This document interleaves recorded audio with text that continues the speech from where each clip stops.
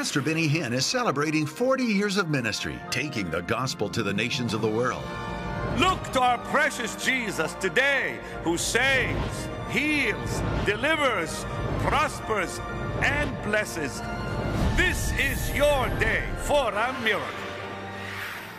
I'm very glad Prophet Brian is with me.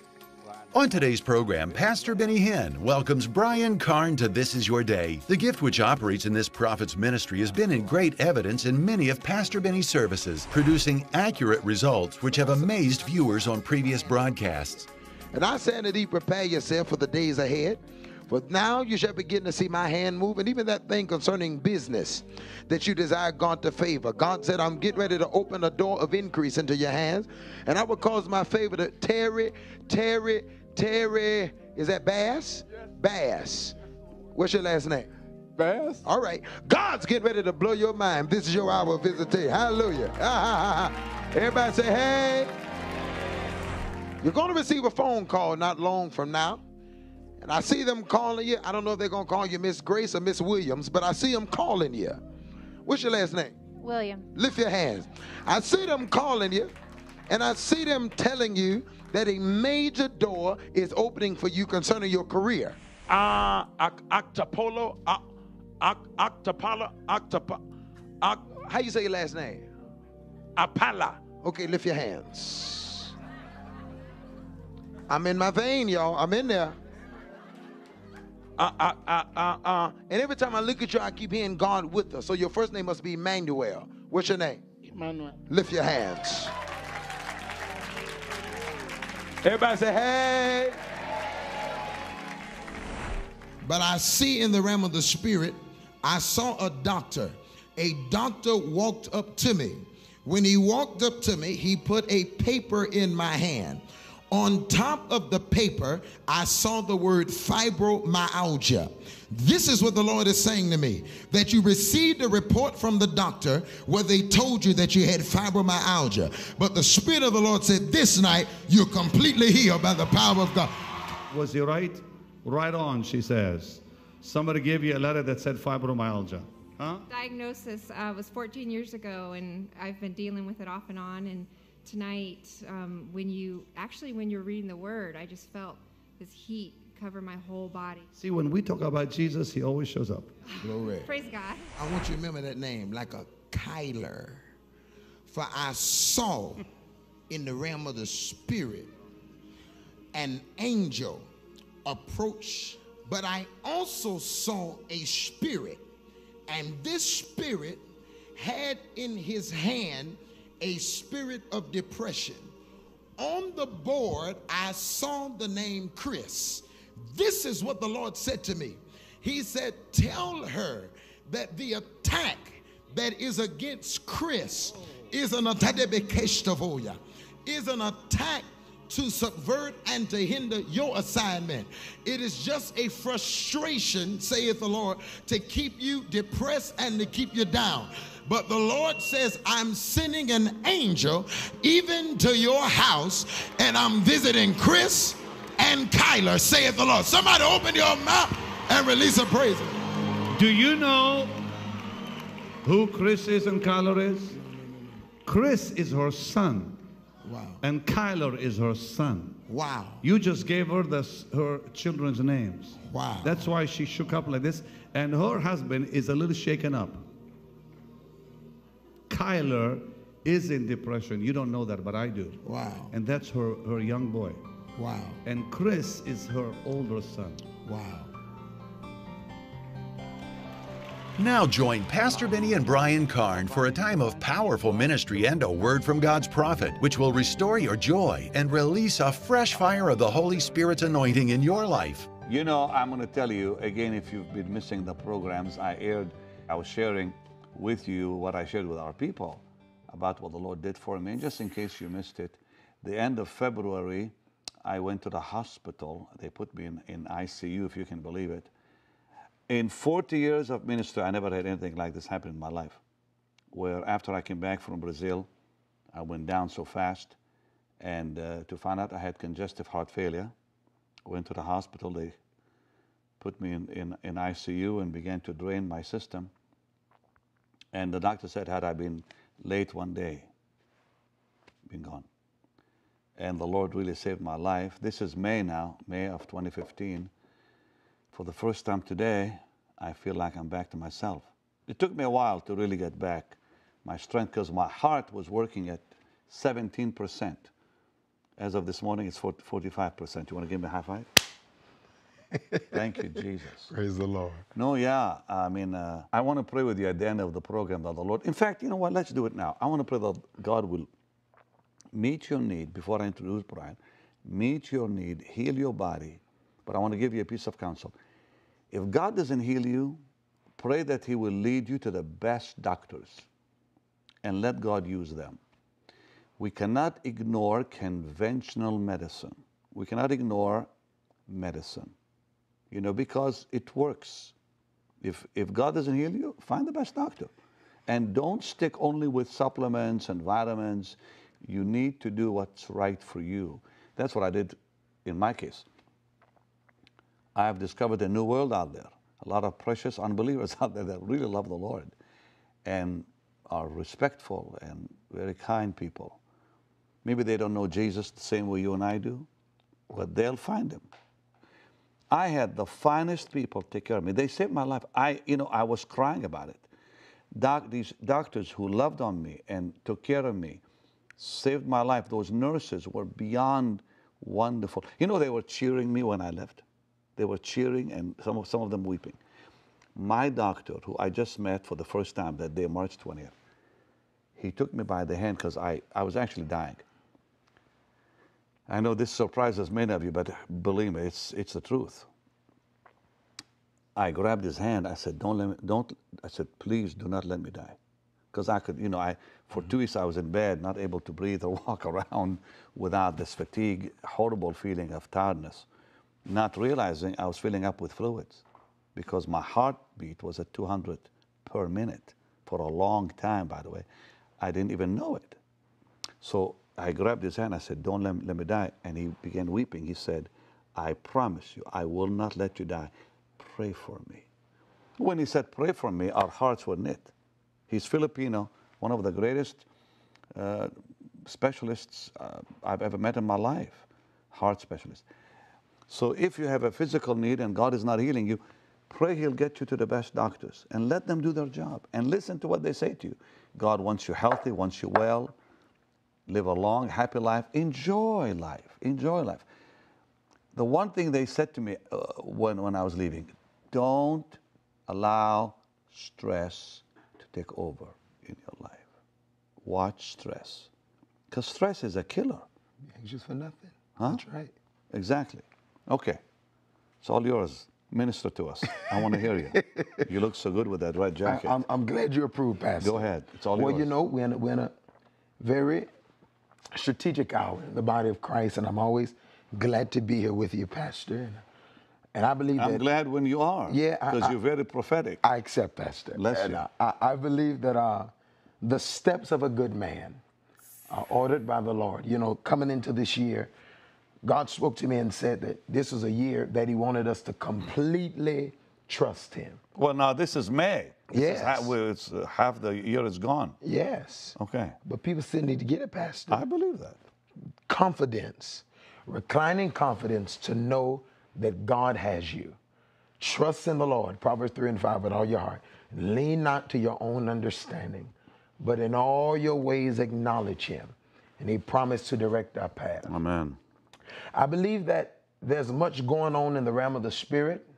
I believe we're in a very strategic hour in the body of Christ. However, I believe that the Spirit of God has dealt with me very strongly about the saints of God, you who are watching and you who are not watching, or you who are just listening, or lackadaisical, or at or, or are at ease in Zion. I believe God's talking to the body of Christ with everything that's going on, all of these earthquakes and diverse places and hurricanes and riots. Romans 8 declares that the earth is groaning for the manifestation of the sons of God. That there's a people that God is wanting to raise up in this hour who are going to operate just like Him in the earth. And why don't you be one of those people that God can use, that He can possess, that He can take over you? You know, we always talk about people being demon possessed, but how about being Jesus possessed? Amen. Be Holy Ghost possessed. Filled with My Jesus, God, yeah. uh, uh, let God tabernacle your flesh.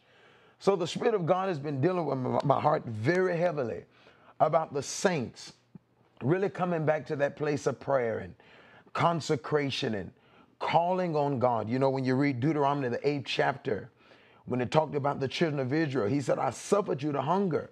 I sent you to the wilderness that I might prove you, that I might teach you that man shall not live by bread alone.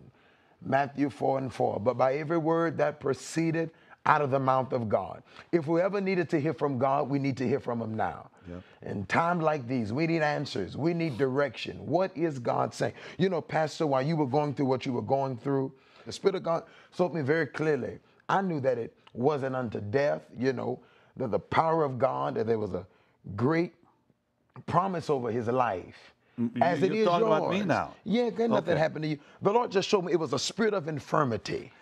Let me tell you something. Before I went into the hospital, I had a dream. In the dream, I saw the spirit of infirmity. I told my son in law, I thought maybe it was this, the spirit of death. He said, Bob, no, that's the spirit of infirmity. I saw this massive spirit. I didn't see the face or the shoulders. It was wearing an armor. It walked into the house where I was and just stood there. It didn't look at me or touch me. He ju- and I kept saying, Jesus, Jesus, Jesus, Jesus. And I almost threw a chair at it. And then I woke up. Well, that's what the Lord And, told me. and, and I saw that. That's interesting you Well, the Lord, well, the Lord told me. and right before all this happened, I felt something was coming like that. I felt like sickness was coming. You had to take care of yourself and rest, Pastor. You got it now. You got it. I'm getting it. you got it. Yeah, you. Can can I get a high you- five? Let's go. I, I'm having people call me and say, please don't travel as much anymore. S- Stay home more, and we need you around. Whatever. It's really right. sweet, but I'm traveling. That's right. Not as much. You're gonna live a long time. Well, I pray that I will. You will. but You have what you say. You, well, of course, but we need to take care of ourselves. That's right. Don't wear yourself out and and up on the ground, which I did. Don't do that to yourself. The body God gave us is a gift. That's right. Treat it well. Keep going. John 10 10, the thief cometh but to steal, to kill, and destroy. But I come that you might have life. Amen. And not just life, but have it more abundantly. Abundantly. God wants you to live the abundant life. He wants you blessed. Job 36 11 said, If you obey and serve him, then will you spend your years in pleasure and your days in prosperity. I love the wa- But you must know obey the Bible, him. Yeah, you, brother. but you must obey him and serve him. You know? So God is calling you to that place of consecration and prayer and really really getting in that secret place. As I said, when Pastor was going through what he's going through, I prayed, and you know, you know, a lot of us talk, but we don't pray. And it's praying time, Luke 18. Men ought always to pray and to faint not. Let me tell you, I'm not scared of most of you preachers. I'm scared of those praying women in the church who can call on God. Amen. The praying mothers who can touch heaven. And the Spirit of God said that it was a spirit of infirmity that was attempting to come against him but he would prevail. And I need you to know this that if God has a promise on your life, nothing can happen to you. You remember David? There was a promise on his life. You prophesied, if I can interrupt you quick. Yeah. You prophesied something would happen to me in February. Yeah, you got mad at me. I did get mad at you Oh, because I you didn't got, believe oh, it. you got so upset with me, Pastor. But it was true. I gave you the this, date. This man knows the voice of. He he did. He gave me the date. He said you're going to go through kind of a season. It's going to start February something. That's right. And I thought, oh no, I don't want to hear this. Oh, he went off on me, saying Even But- Pastor but Benny gets upset. But he said you'll come out and you'll be okay. That's right. So, Believe the prophet. good news. Yeah. Keep God. going. Believe the, believe the prophet, and so shall you prosper. But you remember David, who had a promise over his life that he would be king. God sent Samuel to Jesse's house and said, Anoint one of those boys to be king. And I want you to hear me because Samuel didn't know which boy was going to be king. Hmm. He just knew it was one of Jesse's boys. So imagine him showing up to Jesse's house with a horn of oil. He doesn't know, but the oil knows who's going to be king. So he's trying to pour oil on all of the boys, Aminadab, Eliab, trying to pour oil on them because all of them look qualified. But the Bible lets us know that God looketh not on the outward appearance, but he looks at the heart.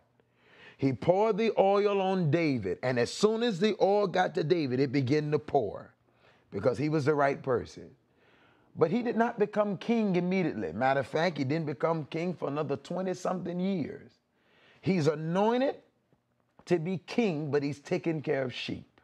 Now, catch this. He gets ready to go to battle against Goliath. And when he battles, here's Goliath talking trash to him. I'm going to destroy you. I'm going to kill you. But David has a confidence. And his confidence is 1 Samuel 17 45.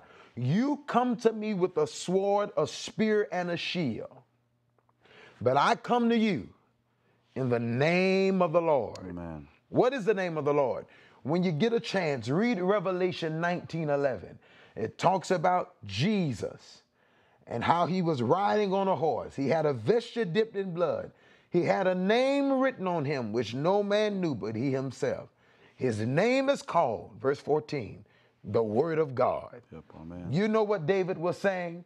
You come to me, Goliath, with weapons, but I'm coming to you with a word from the Lord that says I'm going to be king, and I can't die until that promise comes to pass in your life. I want you to know this. When you got prophecies hanging over your life, fight those prophecies. Fight with them. Wage a warfare, is what Paul told Timothy. Wage a war with your prophecy. God has made promises over your life, concerning your children, concerning your family, concerning your business, concerning your ministry. Well, it's the devil's job to tell you it's not going to happen. What are you shocked for? That's what he does. He's a liar. You're making me laugh. I love it. But he's a liar. That's what that's his job. I, I don't know for one minute. What a why- horrible job. Yeah, yeah. but- what a horrible job he's got. Anyways, keep going. I love this. He's a liar. He can't tell the truth. He's a father of lies. He lies. But God told you, Romans 8:31, that if I'm for you, who can be against you? Oh, You know, when you, you look at Paul's life, I was looking at something in the scripture the other day. Romans 8:18 is so profound to me. Paul said, I reckon. You know, they say Paul is from Israel. I think he's from southern Georgia. He said, For I reckon that the suffering of this present time is not worthy to be compared with the glory that shall be revealed in us. I believe that was at the embassy of his salvation because he said, I reckon. Maybe so. But 10 verses later, in verse 28, he came into a greater revelation and said, And we know that all things work together for the good to those who love God and to those who are the called according to his purpose. 18, he reckons. Verse 28, he knows. But 10 verses later, he gets a greater revelation and says, I am persuaded that neither death nor life, angels, principalities, powers, no things present, nor things to come, height, nor depth, any other Any other creature creature. shall Amen. separate me from the love of God. Wow. that is in Christ Jesus. I want you to know there's a word over your life. There's a promise over your life. Fight with that promise. Remind God of what he said. Remember in Malachi 3, he said, when you get, he said, prove me. God likes when you challenge him and put him to the test and tell him stuff like, God, I ain't got nobody but you. Now I'm depending on you. Can't let me down. That's how I talk to him. Lord, you all I got. I don't have nobody else. You're my everything. I tell him all the time. He's the hot sauce to my collard greens. He's the syrup to my biscuits.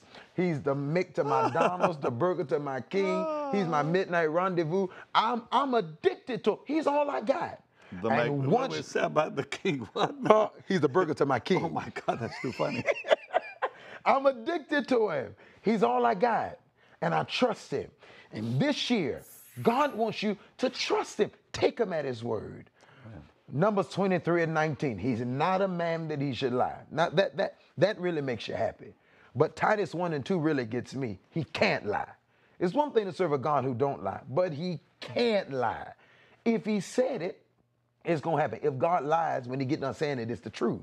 He can't lie. If God say you're blessed, I don't care what your situation is like right now. You're blessed. Amen. If God say you're healed, I don't care what you're going through, you're healed, healed. By his stripes, Isaiah 53 and 5, you are healed. And I want you to believe that. I want you to hear me. Because God, right now in this season, wants you to trust him. Take him at his word. I know it's been rough. I know it's been tough. I know the devil told you that you wasn't going to make it, but he's a liar. He's a liar. The truth ain't in it. Mm. The God you serve is able, Ephesians 3 and 20, to do exceedingly, abundantly, above all that you can ask or think. You know what? I believe there's a scripture in Zephaniah that says how the Lord will dance over you. Well, I'm going to tell you something. I believe that when Pastor Benny came through, when the enemy thought it was over for him, I believe God began to dance in heaven. Do you know what Bunky told me? He came to see me in the hospital. What he told you? He gave me a word of, of prophecy. He said, and he flew in from Washington. He said, The Lord sent me to tell you, you're going through a storm. The leaves will fall off, but the fruit will remain. Hmm. And the fruit will grow. And he said, Your next season will be greater than you can ever imagine. And that's what you told me. Believe it. I am believing And it. fight with that prophecy. And don't say you got 20 more years to live. Say you got hundreds of years to live. Yeah, what you Hey, say. I don't want to limit live yourself. hundreds of years. Well, you know. When I'm done, I want to go. You do. Well, not now, though. I'm not going And now. not even 20 years from now. It- I need around a long God- time. God's time. Finish ministering. Praise God. You know, Pastor Benny calls all the shots, y'all. So catch me. I want you to hear what I'm saying. God is up to something in your life. Amen. And I want you to fight with that prophecy. Fight with that word from the Lord. Fight and know that God said it. And if He said it, He'll do it. He's going to do it. I believe it, Pastor. I want to talk to you. You know I'm a prophet. And the Bible declares in Ephesians 4 11, he gave some prophets. Now, I'm going to tell you, I know you look at me and say, why is he always asking? You want to know why? Because I'm a prophet. And prophets give instructions. I mean, hey, you know, Elijah, I told you before, would have been seen as crazy. In, in this 21st century, where folk are struggling, they lie to show up to the woman house and tell the woman, bake me a cake. Yeah. You know, listen to, you know, it, I told you it made the news. Preacher robs widow of her last meal. It would have been headline. But I cannot allow what the news is saying to change the principle of the word. Oh, Amen. Give, and it shall be given to you. I'm getting happy, y'all. My Pentecost about to come. I'm about to shout and run all over the studio. And it shall be given to you. Good measure, pressed down, Amen. shaken together, Amen. and run it over. Do you believe that?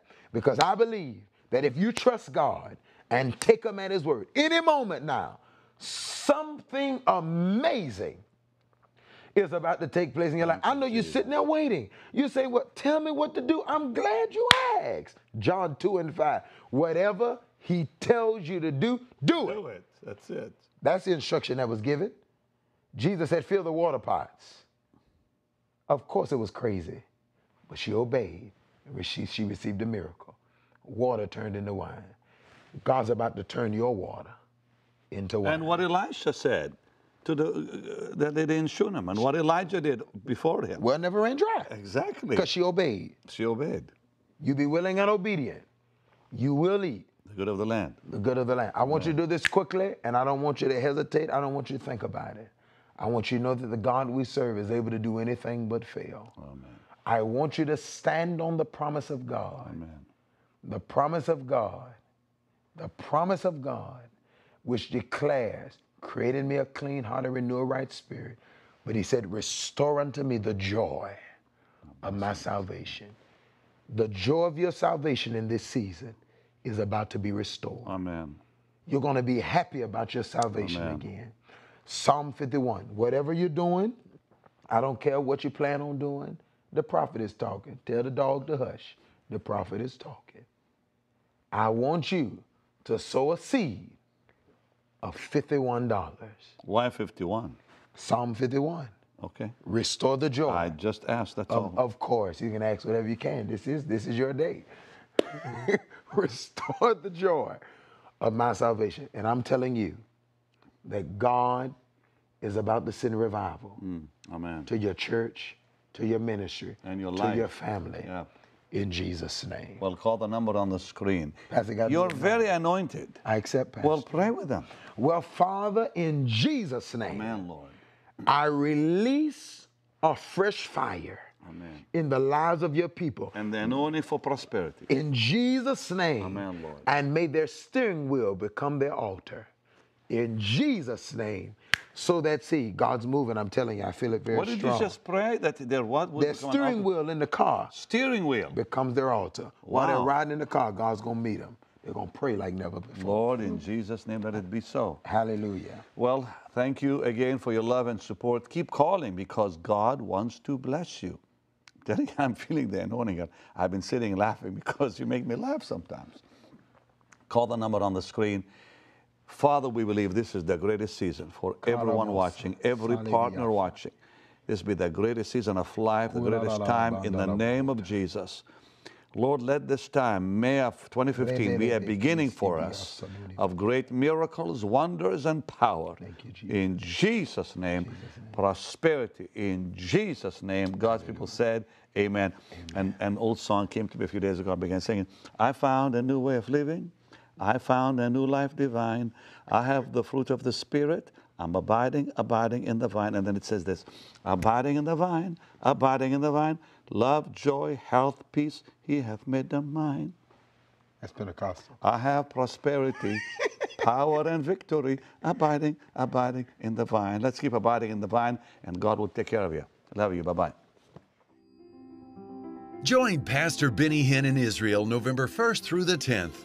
You'll walk where Jesus walked, from Galilee to Jerusalem, and pray in Gethsemane. Take communion at the Garden Tomb. Visit the Upper Room. Sail the Sea of Galilee. Be baptized in the Jordan River, and much, much more. So come with me to the Holy Land, to Israel.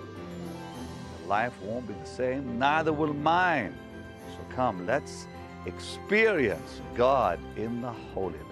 Visit the ministry website for more information and to download a brochure. Experience Israel with Pastor Benny Hinn. You'll never be the same.